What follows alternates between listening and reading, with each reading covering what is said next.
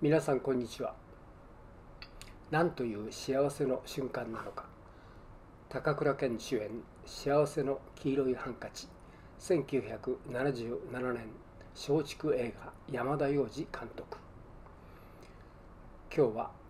当時一世を風靡した高倉健主演の「幸せの黄色いハンカチ」の解説をさせていただきます。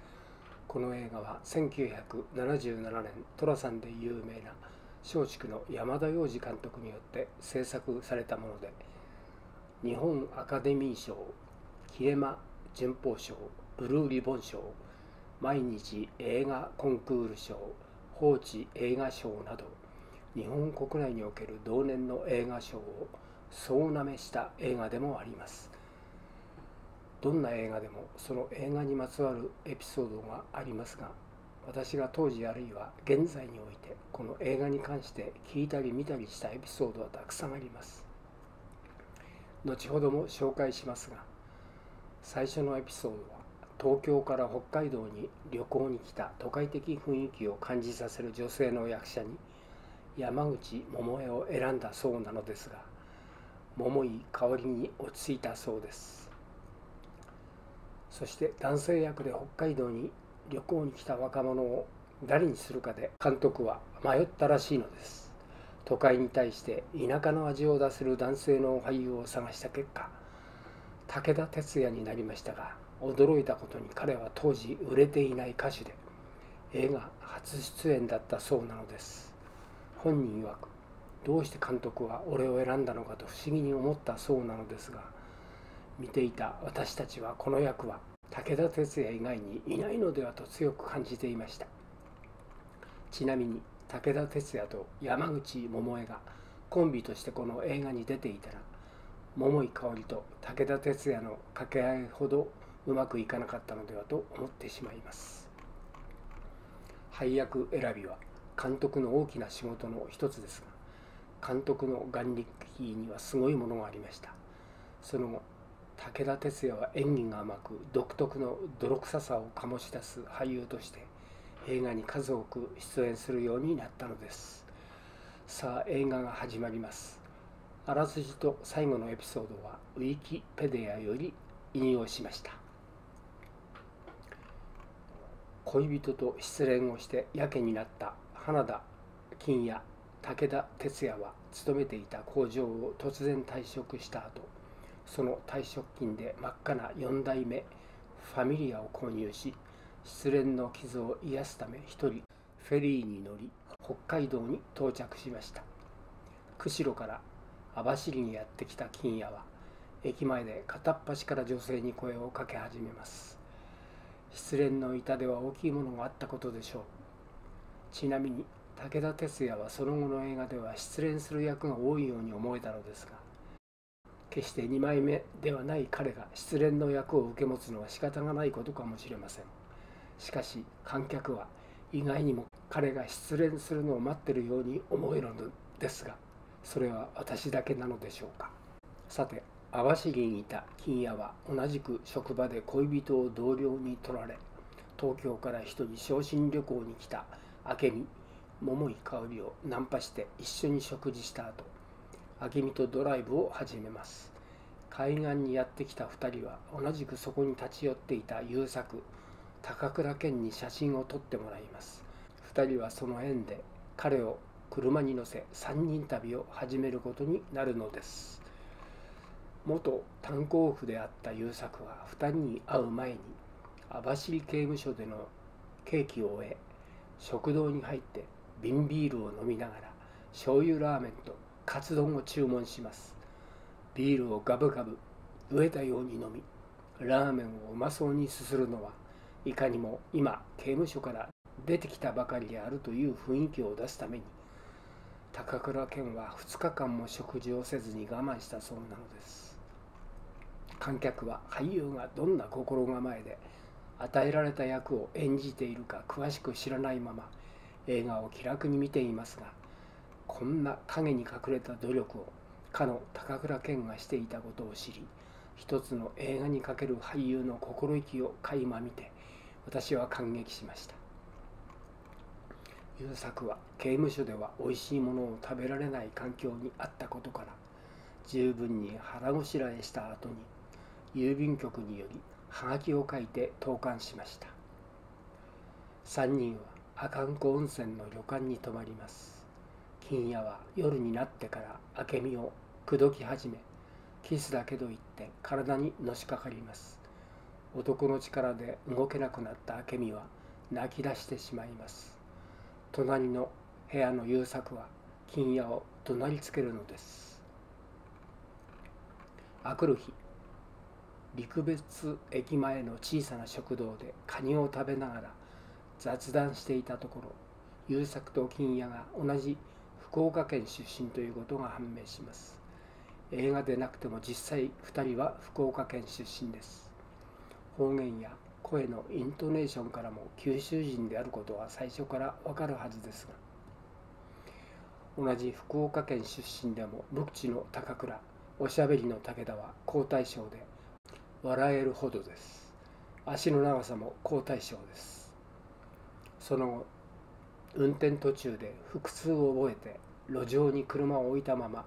トイレに駆け込んだ金屋に代わり対向車のトラクターを通すためこれでも仮面まで行ったという明美がハンドルを握るが車を脱輪させてしまった上に農地を暴走し干し草の俵に車を突っ込ませてしまい2人は口論になり再び明美は泣き出してしまいます。腹痛を催した金谷が尻を片手で押さえながら遠くにあるトイレまで便が外に出ないようにする仕草は武田鉄矢が一番合っていて監督がこのようなみっともない仕草を誰にやらせようかと迷った結果武田鉄矢にしたのかと想像すると監督の人生がここでも当たっていたと思ってしまいます。このような役を高倉健にやらせてはいません。イメージが崩れるからでしょうか。さて優作が農家の主人に謝罪をしたのでしょう。優作との交渉の結果その農家に泊まることになりました。金屋と同室になった優作は今までの金屋の明美に対する不節操な態度に対し「お前それでも九州の人間か」そういうのを草野球のキャッチャーってんだ。みっともないってことだと叱責します。もう皆さんお分かりだと思いますが草野球という大概の意味はバットやグローブミットベースの数が正式ではなく野球そのものを楽しむことを前提にしたルールの甘い野球のことを言い表しますがみっともないという表現はグローブの数も少ないゆえ星が使うミットもない草野球と同じであるという意味です。そしてその日の車中の会話から優作はかつて暮らした夕張に向かっていることが明らかになりました。帯広の駐車場では金屋が邪魔な車を蹴り飛ばすすると乗っていたヤクザ風の男タコ八郎に殴りつけられるが優作の反撃で難を逃れることができました。そのまま優作が車を運転していったことで物語は大きく展開していくのです。彼らの車は強盗事件の一斉検問に引っかかり優作が無免許運転であったことが判明してしまいます。無免許の理由を問われ一昨日までの6年間殺人罪で刑務所に入っていたことを優作は話します。訳ありの男と思って何も聞きもせずに車内や旅館などで過ごしたその男が殺人を犯して網走刑務所に6年間もいたことが分かった時に2人の顔に緊張感が走ります。当然のことです。もし私たちがこの2人と同じように殺人罪で刑務所に6年間いた男と数日間過ごしていたとしたらその場からすぐに逃げていこうとするのが人情ではないでしょう。かしかしこれは映画です。全く人のいい2人は数日の付き合いをした男に情が移ってしまい優作がこれからは記者で行くと言っても同行する方を選ぶのです。優作たちは最寄りの警察署に連行されるのですがそこにはかつて優作の事件を担当した渡辺勝次渥美清が偶然勤務しており彼の恩情で事なきを売るのです。渥美清は同年にすでに「男はつらいよ」の20作目の虎次郎と殿様嵐勘十郎麻也京子21作目の虎次郎頑張れ藤村志保中村雅俊にもちろん主人公として出演しており油が乗り切っていた頃です。山田監督はこのように常時主人公として国民的俳優になっている人物をほんの数分間だけ出場させて観客をほっとさせますがこの場面もこの手法を使っていて渥美清健在を観客に披露していました。彼が出てくるとなぜか安心してしまいますが西田敏行主演の学校においても八百屋の主人でちょい役をしていた渥美清を思い出します。さて刑務所帰りがバレた優作は汽車で行くというのですが3人は旅行を続けていきます。まだまだ詳細を知らない2人ですが乗りかかった船です。覚悟は決めていましたね。車や旅館の部屋の中で優作は徐々に自分の過去を語り始めました。スーパーのレジ係だった妻三江。賠償千恵子との出会いと結婚。そして幸せな新婚生活。三江が妊娠したらしいということで喜ぶ優作。父親が戦死したため父親を知らずに育ってきたので余計に嬉しかったのでしょう。病院に行くという立英に早く知りたいと言いもし妊娠していたら竿の先に黄色いハンカチを掲げておくという三江の言葉に優作は勇んで仕事に出ていきます。仕事帰りに竿の先にはためく一枚の黄色いハンカチを見つけた優作は天にも昇る気持ちだったのです。私も長女が生まれた時はなんと幸せなことかと他に例が挙げられないほどの幸福感を味わったことを忘れることができません。人間とはこのような誰もが通る道に本当の幸せがあるのだということを当時強く感じました。それは特別誰も成し遂げていないことを実践したことを誇るのではなく生まれ学校に行き卒業し社会人となり結婚をして子供を授かり孫を授かり高齢になって死ぬという誰もが通る道にこそ人間の本当の幸せがあるのだということなのです。さて数日後優作が無理をするなと言ったにもかかわらず力仕事をした三江は流産をしてしまうのです。流産とは子供が死んで生まれてくることですね。優作は過去を振り返ります。それは5年前の流産から端を発した事件のことです。立腹して焼け酒を煽りながら俺は隠し事をする女は嫌いだと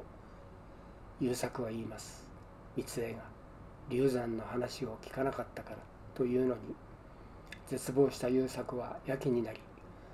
夜の繁華街に繰り出し偶然肩が当たったチンピラ勝塚誠と喧嘩をして相手を死なせてしまうのです。逮捕され刑務所に入った優作は離婚を決意するのです。面会に訪れた三江に優作は今ならお前はまだ若いしその気なら良い男もいるかもしれん。幸せになれと諭すのです。あんたって勝手な人だね。会った時もそうだったけどと三江は泣いてしまうがこれが不器用な生き方しかできない。彼流の男の愛情表現だったのでしょう。責める明美に俺があいつにしてやれることはそれだけだ。どうしてこんなヤクザに生まれついたのかなと嘆く。明日は札幌でお別れだな。仕事がなかったら東京へ行くかもとも言います。金谷は涙に暮れてしまいます。離婚を妻に伝え出す経過において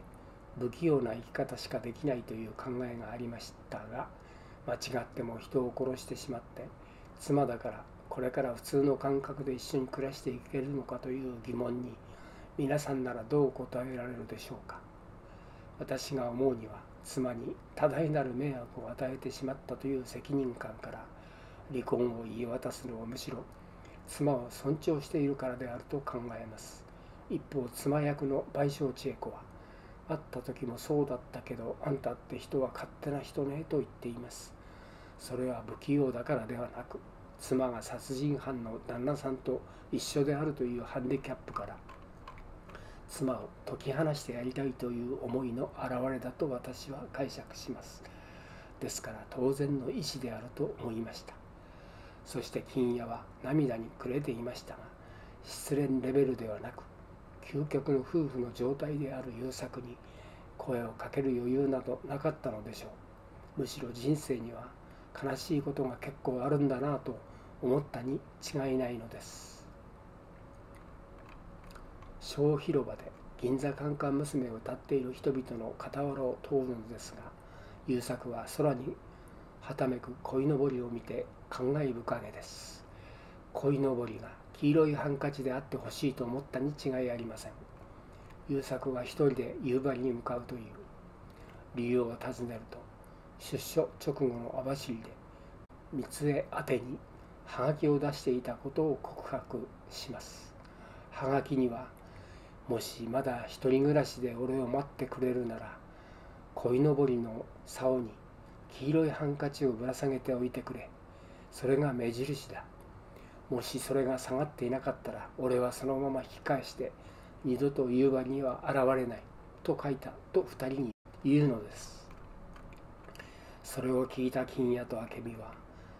迷わず一緒に夕張に行くことを決心します。それはそうですよね。優作がどういう思いで刑務所で生活していたか。そして妻がどんな思いで6年間も一人で生活していたかを考えると一人で行くと言われてああそうですかとは絶対になるわけはありませんよね。偶然にも2人とも失恋の心を癒すために北海道に旅に出たにせよこんな深い訳ありの男と出会ってこれは他人事だからといってさよならをするような人間ではあまりにも情けない人間だと2人とも自分たちを責めて生きていくことになるわけですから。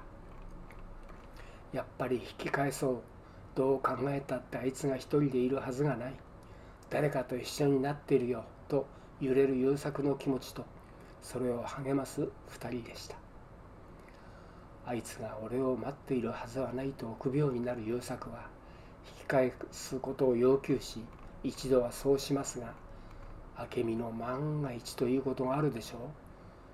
毎日待っていたら奥さんはどうなるの？という説得に応えて再び夕張に向かいます。車は夕張の町に入っていきます。もう外を見ていられない優作に明美が景色を唯一説明し優作はそれに答えます。踏切越えたわよの声に優作は道を説明します。子供たちの柱の傷はおととしの5月5日の背比べの歌が聞こえてきます。金谷はもしかしたら引っ越してしまっているかもしれないねと考える。やがて車は止まり金谷と明美は外へ出て周りを見渡します。ここまで来ると私自身でさえ胸がドキドキしてどうなるんだろうと思うと同時に黄色いハンカチが掲げられていてほしいなという気持ちになりました。優作の揺れ動く気持ちはよくわかります。妻は妻でも6年間も一人で苦しい思いを抱きながら生活をせざるを得なかった身をどう耐えてきたのかということを考えると優作がやはり戻ろうと考えることをやむを得ないとわかるのです。しかしこの時に明美の一言には重いものがありました。毎日奥さんが待っていたらどうなるのという言葉です。待っていないことが分かったら諦めてそのまま帰るだけですが待っていたとしたら奥さんの心を無視したことになるからです。誠に素晴らしい明美の励ましの言葉でした。見つからずに今風呂屋の前にいるんだけどと金谷が言うと彼の視線にあるものが映っていました。明美が金谷に声をかけると「ほらあれ!」と叫ぶ。視線の先にはなんと数十枚もの黄色いハンカチが風にたなびいていたのです。この映画のテーマを掲げた写真が最初に出てきましたがこの写真のように一点の曇りもない澄み切った青空に風にたなびく黄色いハンカチが掲げられていたのです。力強く優作の背中を押し出す金谷と明美。優作と三重の再会に言葉はいりませんでした。二人は見つめ合い仲良く家の中に消えていきました。私はこの時に涙が出て止まらないほど感激しました。今解説をしていても同じです。ああ妻がこんな男を許してくれるほど寛大で思いやりのある女性であったのかと感動以外の何者でもありませんでした。確か自分が主人公のつもりでいたのでしょうね私は。それを見届けた金谷と明美は車中で自然に手を握り合い強く抱き合いキスをするのです。夕張の町を背景に鯉のぼりの竿に掲げた幸せの黄色いハンカチがたなびいていました。優作と三重の美しい夫婦の愛を目の当たりにした哲也と明美は金谷と明美は互いに失恋した悲しみから解き放されたくて北海道の旅に出たのでしたね。最初はどこの馬の骨かと明美は金谷を見ていたかもしれません。しかし本当の夫婦愛の美しさを自分たちの目で見た直後彼らは人間の心というものはこんなにも人を感動させるものであるということを学んだのですね。映画ではこの2人のその後については観客任せになりますが皆さんはどうなったと思われますか？この2人というのは金谷と明美のことですね。私は2人は意気投合し結婚までたどり着くと確信しました。だって素晴らしいお手本を見てしまったのに白々しくいい体験だったねと別れることはないと思いましたから。最後にとても重要なエピソードがありますのでぜひ聞いてください。4つあります。1アメリカのドーンというポップスグループの歌っていた「幸せの黄色いリボン」の日本語の詩を倍賞千恵子が大好きで「男はつらいよ」の撮影の合間に口ずさんでいたのを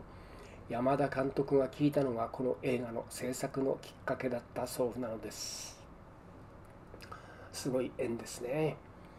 2番目歌詞の意味を聞いた山田監督は歌詞の木に黄色いリボンが花のように咲くイメージが浮かび優作が出所した網走から三重の待つ夕張までは絶対に黄色いものを取らないことに決めたというのです。それは目立つ黄色をずっと見ていないで一気に黄色のハンカチが風にたなびいているのを見た観客が感動するに違いないと踏んだからに違いありません。3番目。山田監督は制作にあたりピート・ハミル。この映画の原作者でアメリカ人であり小説家です。このピート・ハミル側と交渉したのですが作品の上映は日本国内限定で海外に出すことは絶対に認めないとの厳しい条件付きで承認を得ました。封切り後高い評価を得ていくつかの賞を受賞したことから配給の松竹は海外への輸出を考えピート・ハミルに認めてもらうため山田監督がニューヨークに出向いて映写会を開きました。字幕もなく通訳が要点を説明するだけだったのですが鑑賞したハミルはビューティフルと称賛し喜んで輸出に賛成したというのです。素晴らしいエピソードですね。最後の4番です。金谷と優作が最後に別れるシーンの撮影時武田は台本通りになかなか泣けなかったそうです。武田鉄矢はですねこの時武田鉄矢のもとに高倉健が寄ってきて長期間の撮影に感謝する旨を述べると武田は感激してボロボロと涙を流したといいます。この瞬間に別れのシーンが撮影されたそうです。素晴らしいエピソードでした。皆様いかがでしたでしょうか？もし感想がありましたらば YouTube のコメント欄に書いてお送りください。ご視聴ありがとうございました。これで終わります。